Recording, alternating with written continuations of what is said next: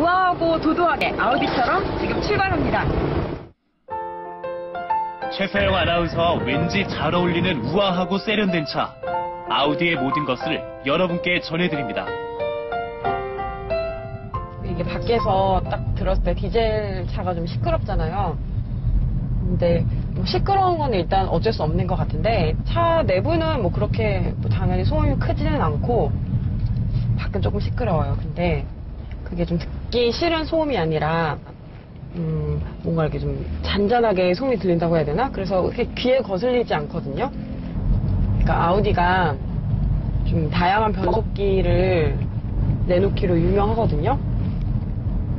그래서 이게 여러 가지 운전의 맛을 느낄 수가 있는 거예요. 이 자동 변속을 해주는 이것 때문에 또좀 속도를 즐기고 싶다, 스포티한 운전 감각을 원한다 하면 좀 또 그렇게 맞춰주고. 그러니까 BMW의 그 운전 재미라고 하잖아요. 그런 거랑 벤츠의 편안한 승차감 이거를 딱 합쳐놓은 게 단점만 합쳐놓은 게 아우디라고 있죠.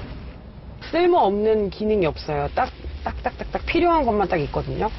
디자인도 딱 깔끔하게, 간결하게.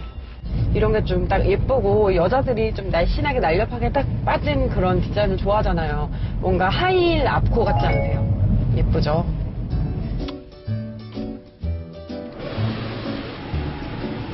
썬루프를 열고 바람을 느끼며 도심을 달리는 최서영 아나운서.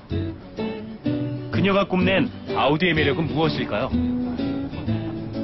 그리고 좀 여자 입장에서 그런 게 있어요.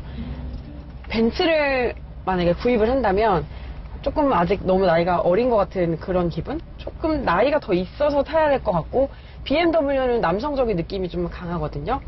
근데 아우디는 나이가 몇 살이든 내가 성별이 남자든 여자든 타도 그냥 별 문제 없을 것 같은 그런 느낌이 있어요. 디자인이 예뻐서 그런가?